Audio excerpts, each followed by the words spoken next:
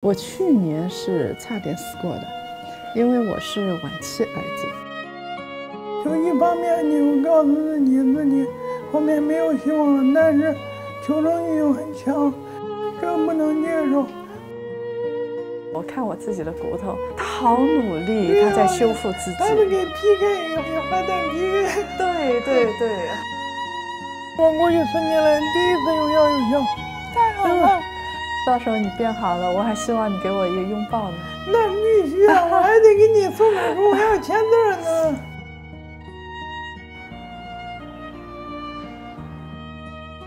因为我是乳腺癌的晚期，我当时骨转移，就呃确实很危险，呃有可能高位截瘫。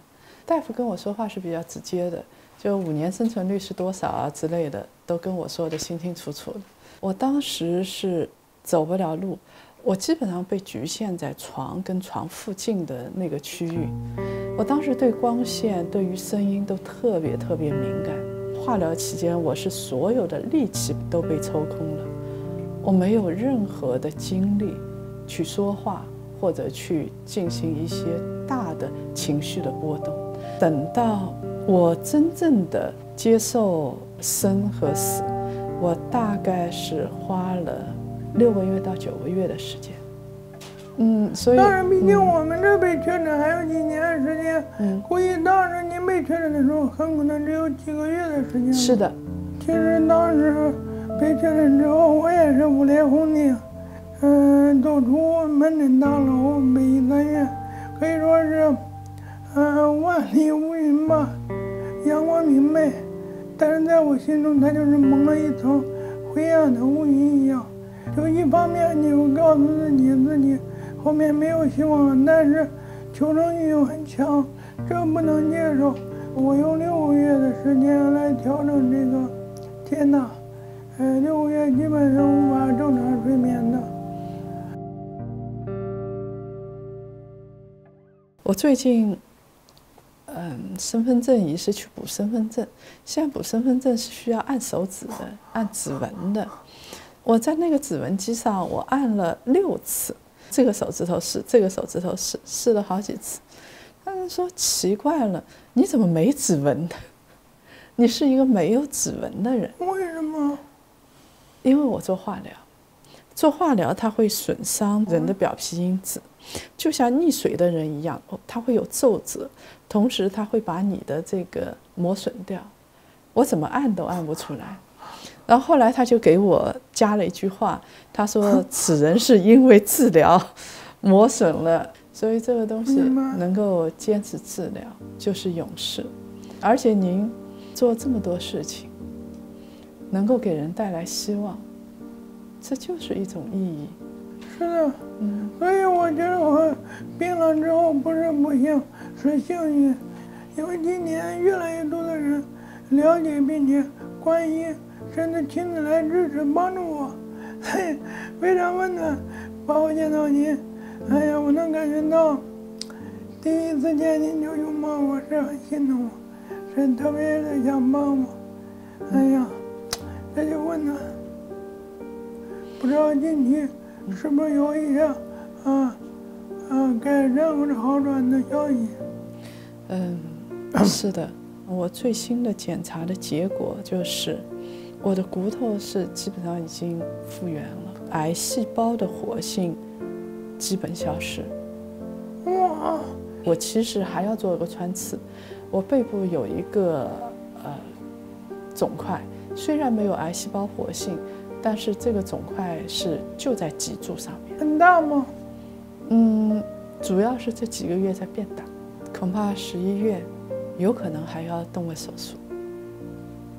很多人说我去看人家，说好了，那说不定十一月我就能走了。嗯，你说好要来看我的啊？好的，一定。我到时候等你好吗？好的。嗯。哎呀，嗯，一方面呢，听到你说好消息很高兴的，嗯，但一方面我就还，嗯，就。没事，我们都会好的，好吗？没事没事，不用猜，我还行。来。没事儿，没事没事儿嗯，要不要我擦？不用擦，还得注意。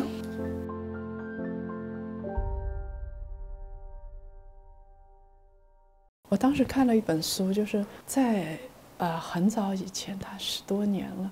当时有一个抗癌明星，也是乳腺癌晚期，他当时在我现在治的这个医院瑞金医院治过，当时已经有所好转。后来他到一个山村去进行了一种特殊的治疗——饥饿疗法，只吃芋奶，只吃呃葡萄。然后做了没多长时间，急剧恶化。人就急剧恶化了，我也是被天天教育说，你大山老林，呃，屁股嗯，吃生食就可能会好转。对。不是这种东西，我们不去否认，关键是你做了真正的实证研究没有？对的，乔布斯五十多岁，他其实是一个罕见的胰腺的肿瘤，对。那个死亡率并不高，但是他却选择了那种对神奇的疗法，对。这种恶化不可拯救。癌症治疗里边常见的，比如人家会跟你说饿死癌细胞，对吧？热死癌细对胞。对对对对，对我这都听到了。如果癌细胞能热的死的话，尤其是体表热的死的话，那我正常细胞早就死了，对不对？肯定也就没命了。然后饿死癌细胞，我当时想，癌细胞也饿死了，那我也饿死了。海鲜不能吃，啊、鸡不能吃，鹅不能吃，蘑菇、竹笋这些都不能吃。我也不知道该吃什么。要相信科学，你你要网上去看渐冻症被治愈都好几十次了。嗯，天天网上说渐冻症被治愈了，那都是假的。我蔡磊也是个病人，如果真能治好，我不可能不去。在这方面是不是花了很多的钱？太多了，我给你算一个数据，假定我们有约十万名病友，每个人至少花十万冤枉钱，这就一百个亿，其实实际花的远远不止。所以说，你想想，花了上百亿啊、关键是什么呢？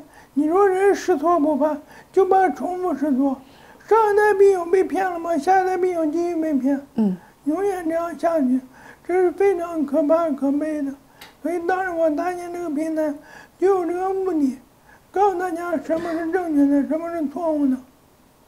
我到现在也非常盼望哪一个大师能把我们治好，这是我们最盼望的，但是都不存在。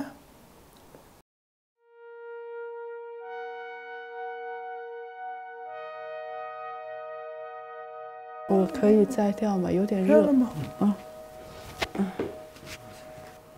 那我我现在当然治疗有效果，很幸运啊。但我是在想，如果真的到了癌症晚期，而且癌症还有一个特点是痛苦。我去年是痛的，有癌痛。如果真到晚期，现在现有的医学不能治，那该怎么办？我想过这个问题。安乐死是吗？对，刚才你说的癌痛，我知道，癌症晚期叫癌痛是十几分钟。对，如果每天都让你癌痛，你谁受得了啊？对，喝点水。